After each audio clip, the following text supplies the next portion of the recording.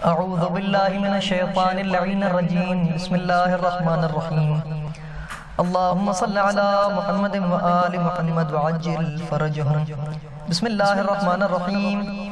اللهم طهرني فيه من الدنس والأقدار.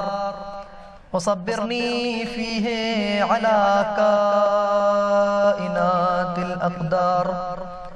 ووفقني فيه للتقى وصحبة الأبرار بعونك يا قرة عين المساكين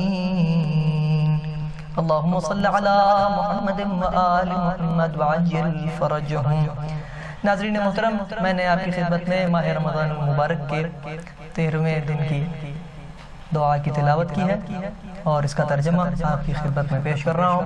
بنام خدا جو بڑا مہربان نہایت رحم کرنے والا ہے۔ محمد و آل محمد علیہ السلام پر درود و سلام کے بعد دعا کا ترجمہ یہ ہے۔ خدایا مجھے ہر طرح کی کثافت اور گندگی سے پاک بنا دے۔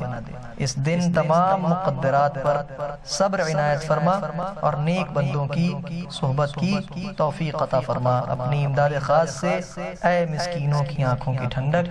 اللهم صل على محمد وآل محمد وعجل فرجهم.